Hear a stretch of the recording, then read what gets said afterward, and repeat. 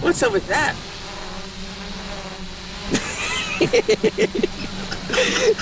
Disguised as a comedy. Holy shit! Yeah!